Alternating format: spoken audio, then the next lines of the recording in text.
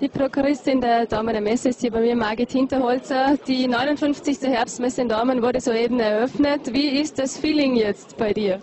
Ausgezeichnet. Ich fühle mich so unglaublich glücklich äh, und im Namen des gesamten Messeteams dürfen wir uns auf fünf tolle Messetage freuen. Die Aussteller haben sich wirklich ins Zeug gelegt. Es wird eine tolle Präsentation aller Neuheiten aus allen äh, Bereichen des Lebens und vor allem hier befinden wir uns in der Sonderschau Holz und Käse.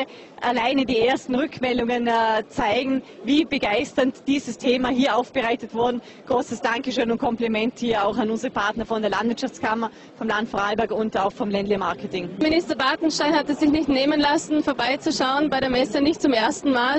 Ähm, warum schaut der Wirtschaftsminister so gerne vorbei bei uns im Ländle? Aus seinen äh, Worten entnehme ich, äh, dass er sich bei uns besonders wohlfühlt und äh, ich weiß auch, dass er wirklich sehr viel auf anderen österreichischen Messen unterwegs ist. Aber solche Anstrengungen für die Besucher, für die 90.000 erwartenden Gäste äh, werden wirklich nur hier unternommen. Diese Sonderschauen sind sensationell oder auch das neue Arbeiterkammer Kulturcafé, aber äh, auch wie die Lehrlinge im Einsatz sind und wie sie hier zeigen, äh, wie ein Passivhaus gebaut wird. Das begeistert uns, aber das begeistert auch in Wien und deshalb ist Martin Bartenstein hier und wir freuen uns, dass wir einen ausgedehnten Messerundgang machen können.